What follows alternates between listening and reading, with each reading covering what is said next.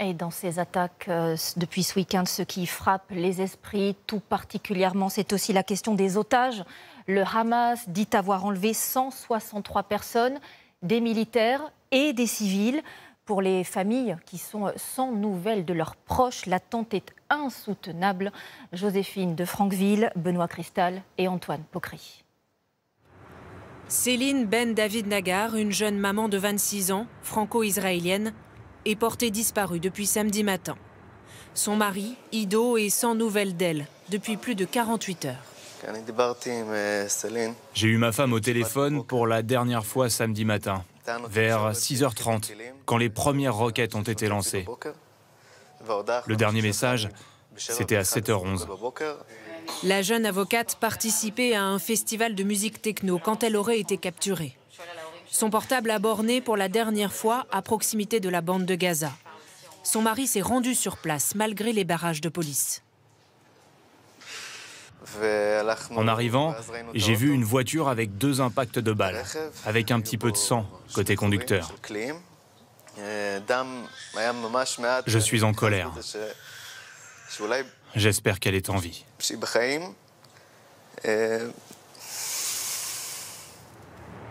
En tout, une centaine de personnes, soldats ou civils, seraient portés disparus. Sont-ils vivants Retenus en otage? Ont-ils été emmenés à Gaza ou sont-ils toujours en Israël aux mains du Hamas? Même désarroi pour les parents de Kim, 22 ans. Elle aussi a appelé sa mère pour la dernière fois samedi matin, au moment de l'attaque. Je n'endors pas. Je ne pense qu'à une chose. Où est-elle? Souffre-t-elle? Est-elle encore vivante? Plusieurs familles se sont réunies pour partager les maigres informations dont elles disposent. Elles demandent de l'aide aux autorités. On veut juste des nouvelles,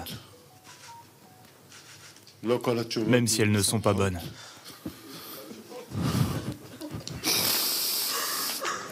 Les parents lancent des appels à témoins sur les réseaux sociaux et scrutent les vidéos publiées avec l'espoir de reconnaître leurs proches en vie. Et en réponse à ces attaques, sachez aussi que les États-Unis, euh, alliés historiques d'Israël, envoient euh, sur place leur porte-avions, le plus gros navire de guerre du monde. Il est actuellement en Méditerranée. Euh, plusieurs spécialistes font aussi la, comparaison en disant qu'Israël a connu ce week-end son 11 septembre, son Bataclan. L'une de nos équipes a pu atteindre cette zone où un festival de musique a été ciblé par le Hamas. Un massacre, un carnage. Plus de 250 corps ont été retrouvés sur place. Leurs images témoignent de l'horreur. Le récit de Thomas Misrakvi avec nos envoyés spéciaux Solène Rioux et Nordine Ali Saïd. Les assaillants n'ont laissé aucune chance aux occupants de ce van. En témoignent ces impacts de balles et les traces de sang à l'intérieur du véhicule. Un peu plus loin, l'horreur.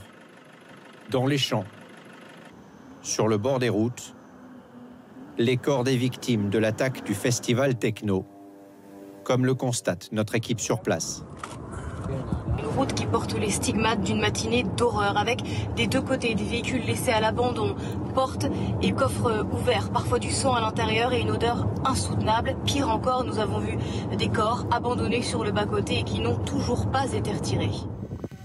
Sur le site du festival, la dévastation est totale. Ces images de drones montrent l'ampleur de l'attaque et la panique qu'elle a provoquée.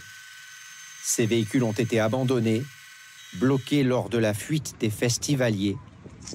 Une partie d'entre eux a été calcinée. Ce matin, l'armée israélienne est déployée dans la zone. Ces chars ont pris position à quelques kilomètres du lieu du massacre. Et plus près de nous, sachez que ce soir, le CRIF, le Conseil représentatif des institutions juives de France, appelle à des marches de soutien dans plusieurs villes. On citera Paris, Marseille, Strasbourg, Bordeaux ou encore euh, Nancy.